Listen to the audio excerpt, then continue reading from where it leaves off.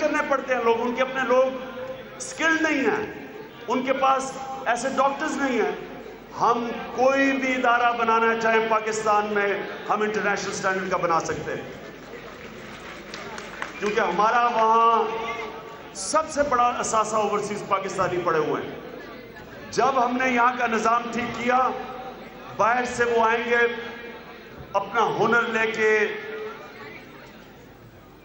Human capital آئے گا واپس اور سب سے بڑی بات کہ وہ انویسٹمنٹ کریں گے ان کے پاس پیسہ ہے انویسٹ کرنے کے لیے ہمیں کسی کے پاس نہ بھیک مانگنے کی ضرورت ہے نہ جھکنے کی ضرورت ہے نہ ایڈ کی ضرورت ہے ہمیں ذلت کی ضرورت نہیں کہ ٹرمپ جیسا پریزیڈنٹ پاکستان کو جس طرح کی زبان استعمال کی کیونکہ کیوں کی ہے اس نے کیونکہ ہم ان سے ایڈ لیتے ہیں قرضے لیتے ہیں کیونکہ ہم اپنے پیر پہ نہیں کھڑے۔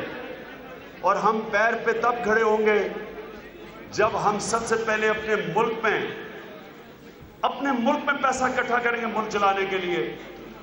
یہ ملک دنیا میں ٹاپ پانچ ملک ہیں جو سب سے زیادہ خیرات دیتے ہیں۔ سب سے زیادہ چیریٹی دیتے ہیں پاکستانی دنیا میں پانچ ملک ہیں جس میں پاکستان ٹاپ پہ ہے۔ تو یہ کیوں نہیں ٹیکس دیتے؟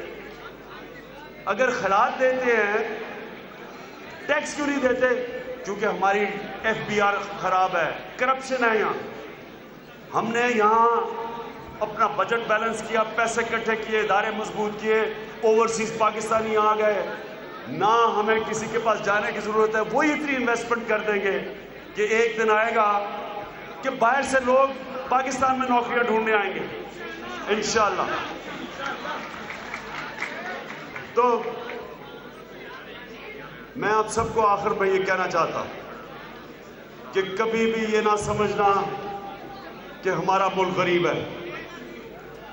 کبھی یہ نہ سمجھنا کہ ہم امریکہ یا کسی اور ملک کے بغیر گزارا نہیں کر سکتے۔ کبھی یہ نہ سمجھنا کہ آئی ایم ایف اگر ہمیں قرضے نہیں دے گی، ملک بینک کرافٹ ہو جائے گا۔ کبھی یہ نہ سمجھنا۔ یہ وہ ملک ہے جو انشاءاللہ صرف یہی نہیں کہ باہر سے لوگ انشاءاللہ یہاں نوکریاں ڈھونڈنے آئیں گے۔ یہ غریب ملکوں کو ہم ایڈ دیا کریں گے۔ انشاءاللہ ایک وقت آئے گا، ارد گرد میں جو غریب ہندوستان جیسے غریب ملک ہیں، ان کی مدد کیا کریں گے انشاءاللہ ایک دن آئے گا۔